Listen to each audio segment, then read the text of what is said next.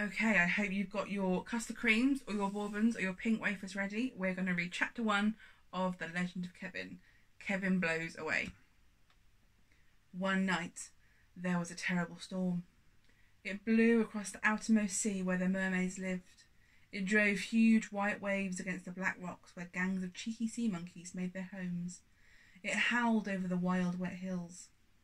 Kevin huddled down in his treetop nest and squeezed his eyes tight shut against the rain. The wind blew harder and harder.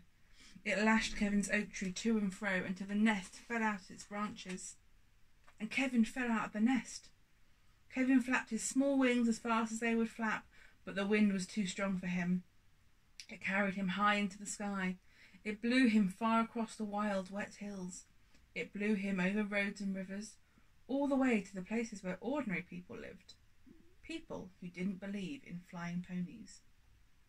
He blew past electricity pylons and mobile phone masts and forests of chimneys until at last, with a loud doof, he bumped into the side of a tall building. Bother, said Kevin. Inside the tall building there lived a short boy. The boy's name was Max, and he looked like this. Max lived in the flat on the top floor of the tall building with his mum and dad and sister. Max's dad was a builder.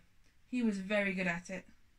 Wherever Max went into the, in the little town of Bumbleford, there were roofs that his dad had fixed, or porches that he had put up, and even whole houses he had built.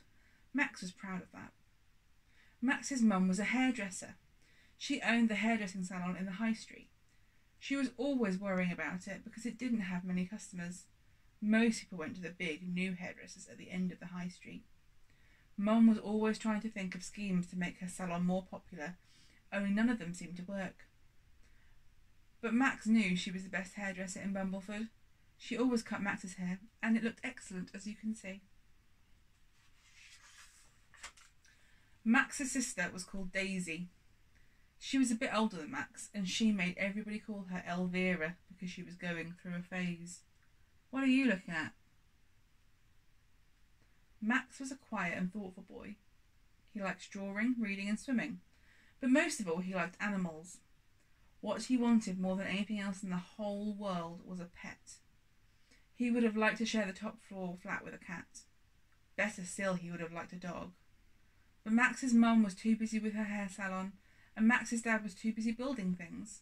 Neither of them had time to look after a dog. Could look after it myself, Max said.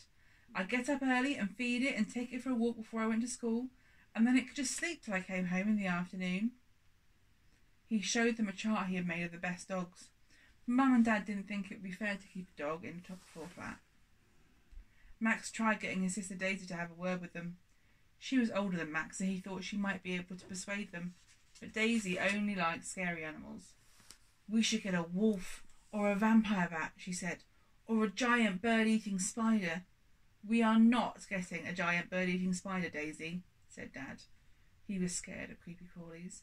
My name is not Daisy, said Daisy. I am Elvira. And she went back into her bedroom, slammed the door, and listened to gloomy music very loudly. So Max had to be content with cuddly animals instead. He had quite a large collection of those, and he was very fond of all of them, but it wasn't the same as having a real live pet. That night, as he lay in bed listening to the wild wind howl and hoo around the tall building, Max felt very sad. I so wish I had a pet, he thought. It doesn't have, even have to be a dog or a cat. Almost any sort of pet would do. And then from somewhere just outside his bedroom window, there came a loud doof and a quiet bother.